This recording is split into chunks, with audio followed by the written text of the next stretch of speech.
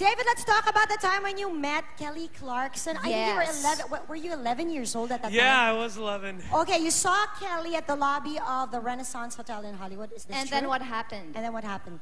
Um, well, it was, see, actually, um, I knew there's like, that first season, like everyone in that season, I was just like, oh my gosh, because it's like the first time I'd ever watched people perform like in person and live and stuff in that way and just with so much emotion and stuff. So it, that was probably like the most, the second most influential thing after Les Miserables for me mm-hmm. was the first season of, of American Idol with Kelly and Tamyra Gray and stuff because it was just yeah they were all there in the lobby and so uh-huh. I was singing did- to them was just whew, I was so scared I was like uh-huh. frozen I was like You froze. and And they were like happened? sing you just come on sing singing, and then you just started singing.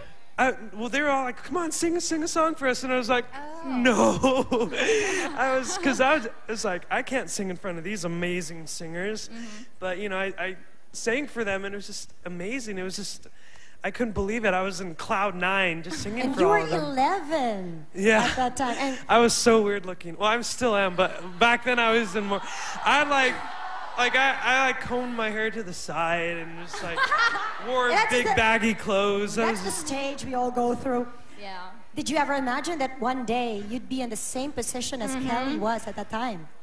no, no. I, I don't. I still don't. I still don't think that. I'm. You know, I think Kelly's just like way up there, and she's amazing. Such a great s- talent. She's, she's no. She's one of like the people who I, I really admire and look up to. And I was so it just um, you know.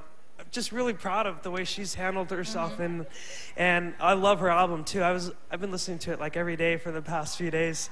It's actually one of the albums I've been really into lately. Have you heard her new album? Just the, the song. children, yes. Uh, what's that Yeah. song? Oh, yeah. uh, My life would suck without you. Is that it? Yeah, my Yeah. life. there, there's one called All I Ever Wanted too. That's really good on it too. If you guys have, it's really good. Sorry. anyway. I'm sorry.